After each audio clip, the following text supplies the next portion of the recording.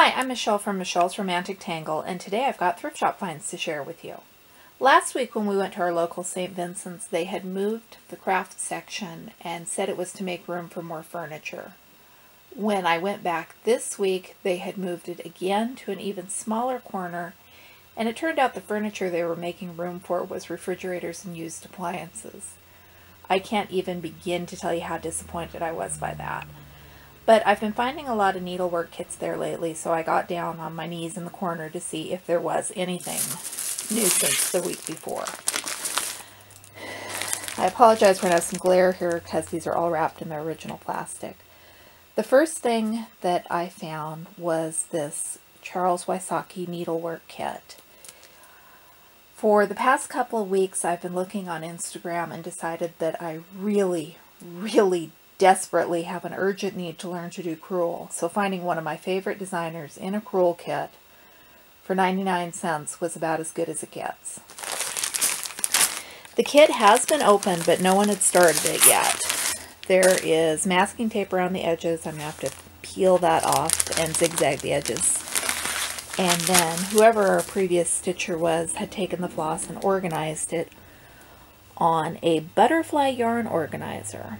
I think I may pull the yarn off of this and try using it for another project. We'll see what turns out. I did a little more poking around, and it's mostly thanks to my son who was looking at for Halloween things that make noise that I found the rest of the craft supplies, which are at the other end of the store.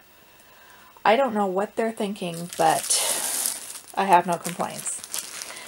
This is a Bucilla needlework kit that I can't find a date on it, but boy, I would swear that this is from my great-grandma's time.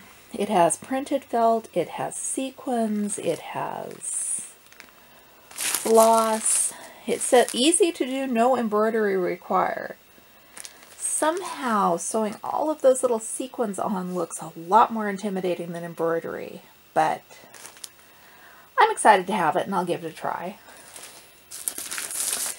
Then I found the rest of the crewel kits. First one is Childhood Treasures. It's a sunset design from 1975. It originally came from Sears for $10.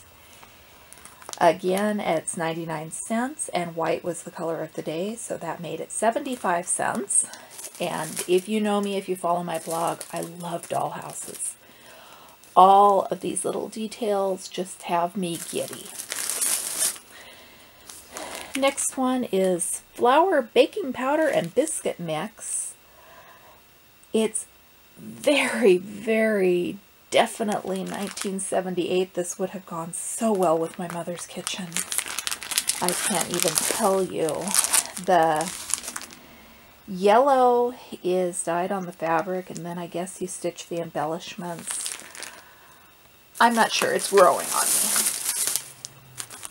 This one I like better because even though it still screams 1970s, it's not nearly as yellow. And it doesn't have, if you can see the pre-dyed fabric, it's a couple of different width, widths of wool. So we'll see. And there was this one, which I absolutely adore.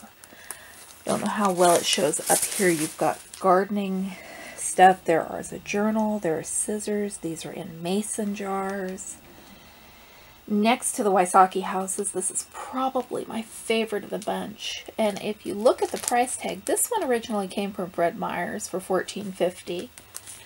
Whoever had priced their stitchery kits this week, everything was 99 cents and everything was the 25% off. I don't like this one. I don't know why I bought this one. At the time, the rationale was something like you will never, ever, ever find this kit new in the packaging again, and you shouldn't separate it from its friends, and I just I have no excuse.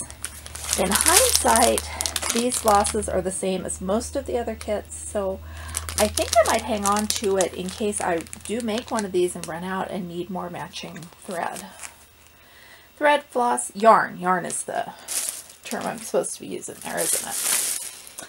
This one is newer and cuter. Again, it came from Fred Meyers. What I didn't notice until after I got it home was it is an embellished kit, and I'm not a fan of embellished. If I'm going to stitch it, I want to stitch the whole dang thing. But I'm thinking since I've never done crewel before, I've never tried the stitches, this one might be my guinea pig to see if I can get it right before I break into the kits that I really do love. Uh, wreath, I think this was originally going to be the guinea pig, try to figure out what I'm doing before sacrificing something I love project.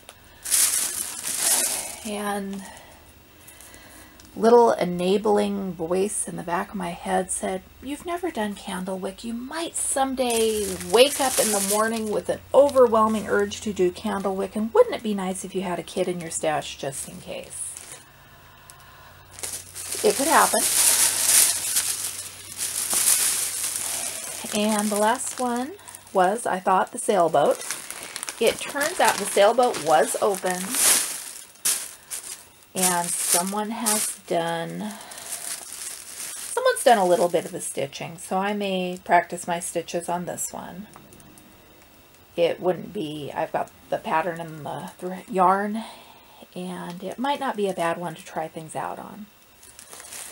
What surprised me when I did see this was open and reach inside to see if it had been started as this is the only one out of all of these that has been started even though a couple were open I found Christmas ornaments. They are, if I can find them in here, they are pre-printed. They are pre-printed felt. And I just, these are something my grandma would have made.